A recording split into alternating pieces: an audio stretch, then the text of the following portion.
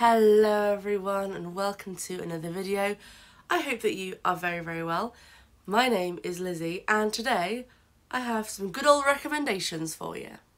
It has been a long time since I've sat down and just done a regular recommendations video. I don't know when my last one was. I think it might have been for Bi Visibility Day. Never knowingly off brand.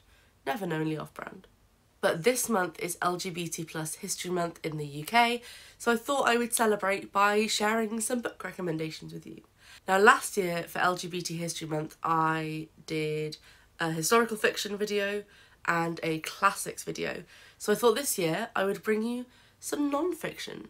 I have read, honestly, a woefully small amount of LGBTQ non fiction, um, which isn't maybe the best way to start a recommendations video. Um, this year I felt I'd read enough to be able to recommend some to you, to like, you know, pick pick out some to recommend. Um, if you've got any recommendations for me, preempting the end of the video, then do let me know. It's something I would want to read read a bit more on as well. Not all of the books I'm going to mention are specifically history books, um, but all of them incorporate LGBTQ history in some way or another. So without any further ado, let's get to the books. First of all, and this is the, probably the most famous book on this list, which is why we're going to talk about it first, and that is The Transgender Issue by Shon Faye. This book is all about trans rights and trans liberation and about how we got to where we are today, where we can go next, and how it benefits all of us, not just trans people, but also with an obvious emphasis on the struggle that trans people face in our modern society. It's brilliantly written, really engaging. So some non-fiction books, you do feel like you're sort of going, okay, it's time to read now. I'm going to sit down and concentrate. This is one you just want to pick up and keep on reading. Most of the book isn't necessarily dedicated to history, and the bits that are are so good at getting you to sort of rethink your own understanding of that history and of how we got here as a community. It's a very vital book. It's very clear and sets out the very radical ways that we need to change as a society if we are ever going to be able to support our trans siblings. The next one is a little bit more local to me, and that is A Little Gay History of Wales by Daryl Leeworthy. What's really good about this book in particular, this is a sort of book you would go in and expect to be about famous queer Welsh people, um, but it's very much not. He's very clear this is not about the famous few, this is about the everyday lives of mostly gay men in the last century or so in Wales. It is very much a gay history rather than an LGBTQ history. The other letters didn't really get much of a look in. Um, and on one level, that kind of makes sense because the sources, the often primary sources, um, in terms of like police records and things were very much skewed towards gay men rather than any other letter of the acronym. But it is a really great insight into what life is like for day to day queer people growing up in Wales in the last century. And it brings us right up to modern day as well, tracking the history of campaigning and rights activism in Wales as well. The next one, now I've shouted about this book a lot, especially when I first read it, I could not stop going on about it. It's brilliant, you should all read it. The Hidden Case of Ewan Forbes by Zoe Playdon. This is part biography, part history, and Ewan Forbes was a Scottish baronet who was assigned female at birth and from a young age lived as a man and was referred to by male pronouns and legally changed his gender to be male way back in like the 30s. Um, and he was taken to court by his cousin because he was in line to inherit a male only title. And the court found in his favour, and then it was put under lock and key and has only just been sort of uncovered in the story of this book. Alongside Ewan's story, we get a sort of overview of trans history in the UK, going like chronologically along with his life, uh, again leading right up to sort of 90s and early noughties.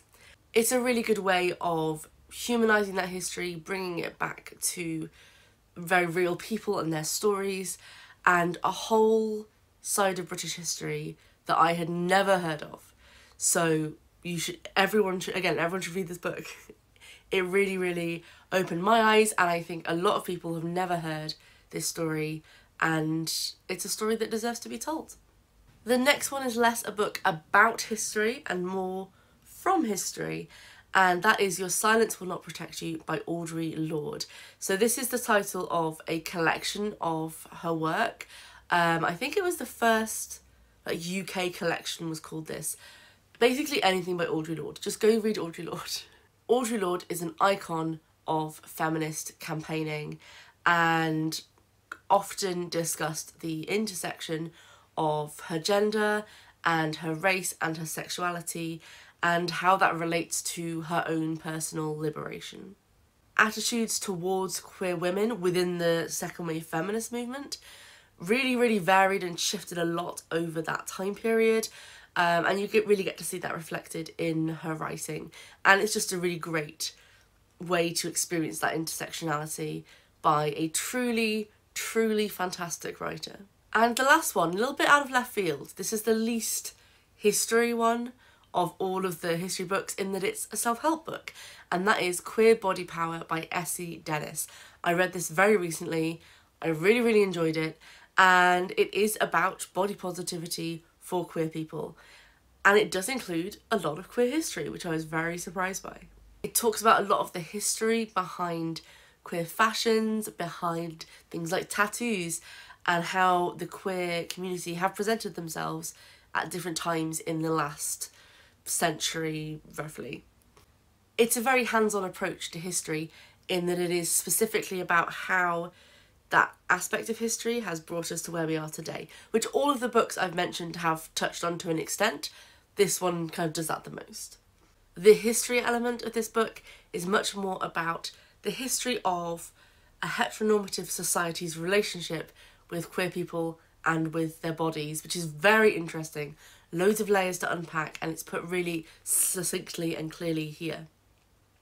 Why couldn't I say that succinctly? I couldn't say it properly. As always, I'm going to finish off my recommendations video with a few books from my TBR. So first of all, Queer Power by Dom and Ink. If you don't follow Dom and Ink on Instagram, you definitely should. He is an artist and his illustrations are gorgeous, as you can tell from the cover of this book.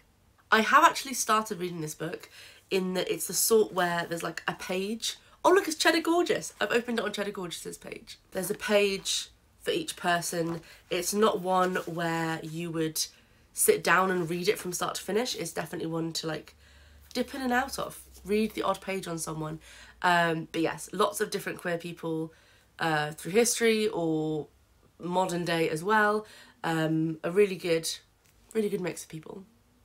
Next up, this one's more of a classic history book, and that is The Wedding Heard Round the World by, and there's a lot of authors, uh, so I'm going to read them out to make sure I get it all right. Michael McConnell with Jack Baker as told to Gail Langer Karwoski. That's a lot of names. This is about the fight for marriage equality in the USA, and according to the blurb, the first legally binding same sex wedding in the United States was in 1971. That's amazing. So I'm looking forward to reading this and hearing about the history behind that historic wedding. And finally, We Can Do Better Than This by a whole selection of people. Many, many, many, many people in this book. This is an essay collection on LGBTQ plus rights um, some celebrities, some activists, all sorts of different people included in here. I love a good essay collection. Uh, 35 essays to be specific, which is, it's a lot. So I think this will be a dip in and out one more than a start at the beginning and read all the way through one. Um, but yes, this one also very intrigued, lots of famous people in it. Can't wait to read it. And that brings us to the end of this video. It was very chaotic filming this video, so I hope that the end product is coherent.